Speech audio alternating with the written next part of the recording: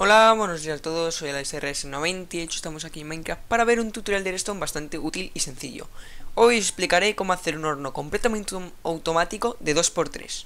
Seguramente estaréis hartos de que venís de la mina o de explorar y venimos con muchos materiales para quemar y tenemos que hacer varios hornos para quemarlos individualmente o esperar a que uno se queme y cambiarlo de forma manual. Este horno es completamente automático. Con uno de carbón podemos quemar hasta 8 objetos de forma automática. Como aquí podemos ver, metemos los objetos y aquí se va quemando. Como podemos observar, ahora mismo se va a quemar el oro, el lingote de oro y aquí, aquí aparece y desaparece al instante. Y pasa al siguiente ore. Ahora mismo está con el oro y en cuanto acabe pasará al siguiente que es el iron. Como podemos observar, y se pone el iron. ¿Y dónde va el oro? Pues aquí, el cofre cae al lado. Aquí aparecerá el material que se queme en el horno. Cada vez que se queme el material, vendrá aquí, como va a pasar ahora con el hierro. ¿Lo veis? Es completamente muy útil y nos sirve para muchas cosas. Es súper compacto, como podéis ver, está aquí escondido, ahora os puedo enseñar el mecanismo. Y es bastante fácil de construir. Vamos a verlo. Para construir este mecanismo usaremos todos estos objetos. Vale, primero situaremos dos espacios en el sitio donde queremos ponerlo. Pondremos el dropper apuntando hacia arriba y un hopper unido a él, ¿vale? Y encima del hopper pondremos el horno y encima del dropper el cofre.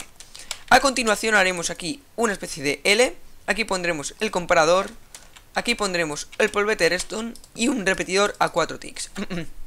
Perdón, ya está hecho el mecanismo.